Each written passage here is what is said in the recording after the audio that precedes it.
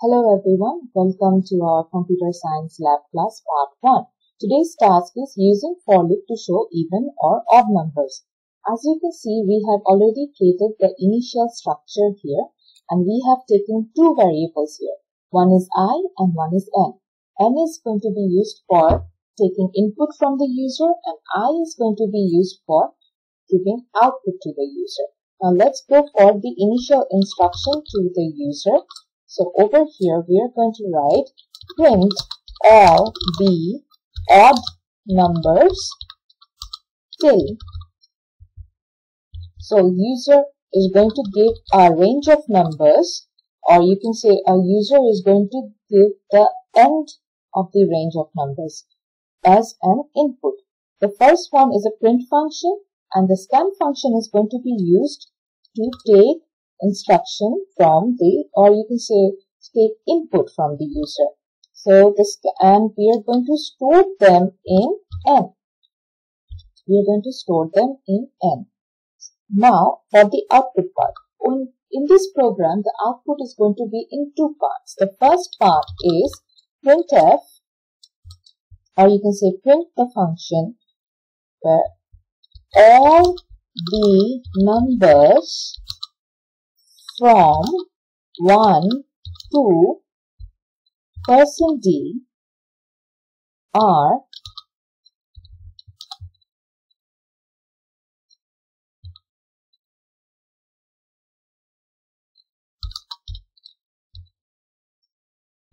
So we are giving a first part of the output. Now this Slash n is an escape sequence. You want your program to look not jumbled and especially not all messed up. You want some space in between your program, your statements that is shown in the computer or as a result. So this is the first part of the output. The next part is the for loop part.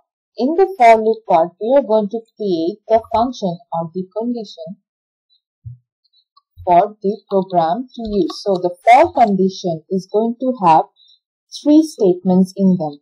First statement is the initial statement or first part of the range of numbers. The next one is going to be the second statement, which is the last of the range of numbers. And you want the computer to keep on counting it, which is why we are using the increment symbol here.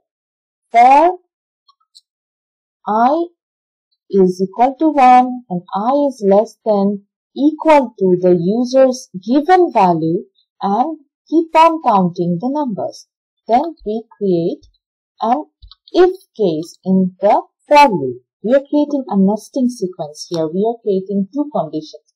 For all the numbers given by the user and in between those numbers take the numbers which can not or you can say which cannot be divided by 2 or if divided by 2 it does not it does not become 0 it has it has a remainder.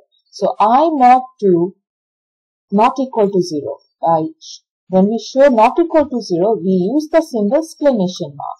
Now we are going to use the second part of the output.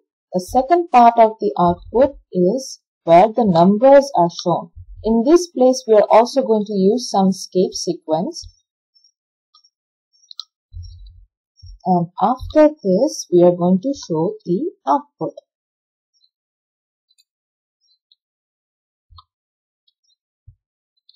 So, now let's run the program and see if all the odd numbers are shown.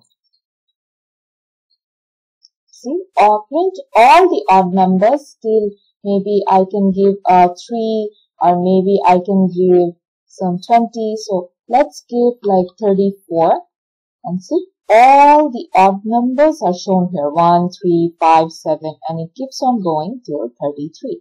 Now if we, what will happen if we want an even number? If we want an even number, we would just change this into equal equal. Like we, if it is equal to 0, if I divide the numbers by 2, it will be equal to 0. So let's change the statements and let's see the program. How does it go? We can use the same number 34. See, if I go up, it says all the numbers from 1 to 34 are. It's over here from 2 to 34. All of the numbers are seen, but all these numbers are even numbers because they are they can all be divided by 2 and there will be no remainder. And the range is also given by the user 34 34 and also the execution time is shown. It took 10 seconds for the program to run okay thank you for the class i hope you will try this program by yourself in at home